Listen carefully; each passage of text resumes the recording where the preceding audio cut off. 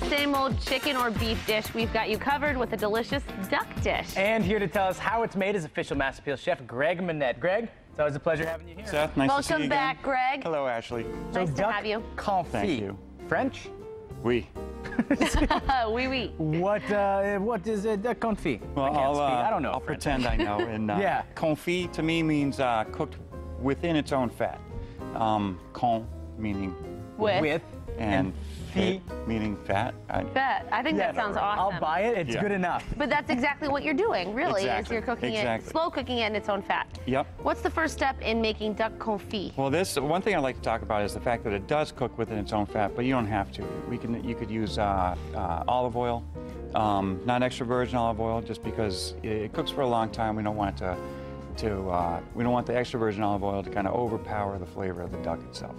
Um, and what we're doing in the process of cooking it is rendering out most of the fat that lies between the uh, the breast, um, or not the breast, but uh, the leg itself, uh, the skin, and in here. There's a lot of fat contained in here. Oh, wow. and That's- yeah, especially on a on a duck breast, you'll you know it's usually probably about a quarter inch layer of fat, and uh, and so at the restaurant what we try to do is, you know, we're rendering out the fat from the leg.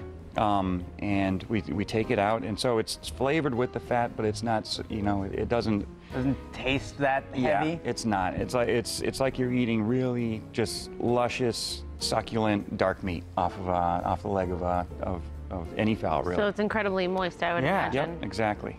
And with the duck breast, what we do is, you know, we'll marinate that a little bit, and we'll slowly render a lot of the fat off the, the breast. It gives it a nice, uh, crispy uh, skin, and but half the fat really that was in there originally. So. And I see that you season it. We do. Um, and this process to start it really takes, it's usually overnight, um, eight to eight to 12 hours or so. You don't want to go too long because then the salt tends to penetrate the skin too much. But we have to use salt because what we're doing is curing it. Uh, it's approximately a tablespoon or two per, uh, per half pound to a pound of duck. And so kind you're of pretty much covering the top, We so are. it gets and all this one there. is already, you can see it actually start to, uh, to cure. Uh, what it's doing is salt's drawing out the, the moisture, um, but it's allowing, Oh. it's allowing the flavors from the garlic and the herbs and the, the oils and stuff from the spices to go into the flesh. Interesting. That's So- really interesting. I never knew you could do that. Can you use any kind of salt? Uh, I use coarse, uh, coarse kosher salt, um, mainly because it's, it's easier to work with, uh, it's grainier, you know how much you're putting on there. Mhm, yeah, you the can really finer see it. salt, you can't really see as well. So if I have too much here, I'll just, you Push know, it off can the rub it off sides. a little bit. Okay.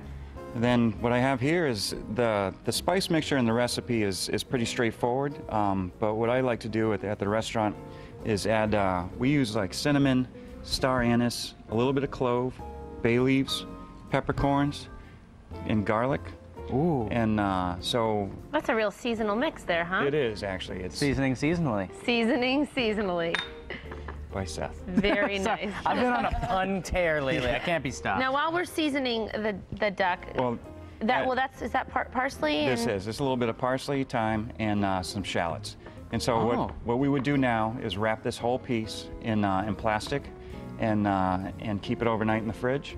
Um, in the end, you'd, you would unwrap it like this and, uh, and rinse it off, which we'll do in a second before we actually put it, submerge it in the duck fat. Now, Greg, when you rinse it off, does that take all this marinade and, and things it that you put on? Oh, but, okay. But what we're going to do though is we're actually going to season the fat that we're working with with some of the herbs and, uh, and spices that we used in the, in the curing process. So you might Okay. lose it, but you'll still get that taste. Exactly. Okay. Exactly. So I'm just I'm gonna rinse this off really quick. Sounds good. Okay. In the meantime, I'm gonna marvel at this. This is Hey, Marvel. So Santa is just is, is at Yankee Candle now these well, days, he's right? there. Of isn't course he He's there year he? round. Round. He's a. And if it's not Busy snowing out already, it snows every what, two to four minutes at the Bavarian Village? Of course. Always. Santa is always. Always there. snowing. Always there. Always there. Yeah. In his workshop. So it's a little bit wet, so we might have a little bit of splatter. So Okay, I'm gonna back up a little bit. because we've uh, we've come across that before. Yes, we have. We've had a lot of fun experiences here in the I'm gonna drop kitchen. that in. You know, if it, it the the bubbling right now is because of the water, uh, Mm-hmm. the moisture content in it. Uh, normally we would pat it dry, uh, and let this simmer really for uh, an hour and a half to maybe two hours, until it's it's fork tender, just coming off of the bone. Is there a specific temperature the oil is supposed to be at? Exactly. Actually, there is. It's uh, approximately 190 degrees. Okay. Uh, what that does is it allows the meat to still uh, maintain its uh, integrity without really flaking off or getting stringy. Uh, if you cook it too hot, basically you're kind of boiling it in the oil. Uh, same thing if you were to poach, um, you know, a piece of tuna in like olive oil or something like that. Gotcha. If it's too hot, it's just going to ruin the steak. Oh, so it definitely matters. Definitely. The temperature. And you can just get one of those kitchen thermometers to test the temperature of your Right, oil. candy thermometer works. Mm-hmm. Um, and any meat thermometer too, because you're, we're only looking to go up to 190 degrees. Seriously. And you're not boiling, because that's what, 212 is boiling? 220 actually for- 220. For, water. So if we Oh, okay. fast forward, and of course, an hour and a half, two hours go by. Yeah. After that's been slow cooking in the fat. In the fat. What is And the herbs. I did forget to add And uh, the some of the herbs, herbs. of I've got a little bit of garlic. Oh. Uh, you can stud the garlic with uh, some cloves if you want. Oh. Throw a cinnamon stick in there as well. There's bay leaves. and that's really going to get in there flavor-wise? It does. It flavors the fat uh, and also And it's flavors cooking the for a meat long as it time. cooks. How So, neat yeah. is that? Yep.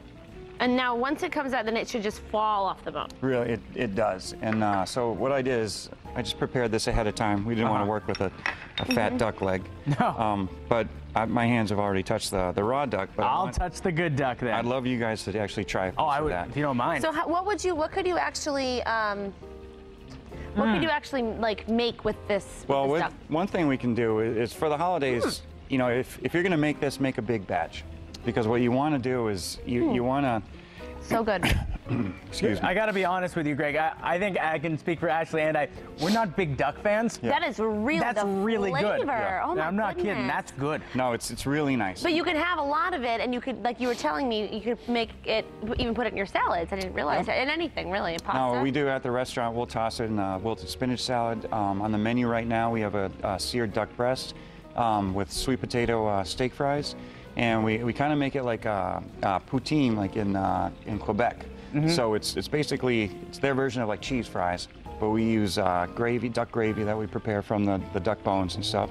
Shred the duck confit over the top of it, and then you can you have your steak fries and duck confit. Wow, I've never tried that. before. Well, Greg, this looks like a, this is a great you. recipe, definitely for the holiday season. No, definitely, And it can be very uh, used in a variety of ways. So thank you for Turn- showing us how to make it. It's Turn so me into tasty. a duck fan. All right. duck All right. fan. One Thanks, more. Greg. And every Thursday, you can catch Greg Monette and Chandler's Restaurant right here on Mass Appeal, whipping up a great dish off their menu. You can always get this recipe online by visiting mymassappeal.com later on today. And if you've never dined at Chandler's Restaurant, you are missing out indeed. You've seen some of their items on the show, but head to South Deerfield to check them out for yourself. Be sure to like their Facebook page. Just search for Chandler's Restaurant and check out the page for the latest up to date information.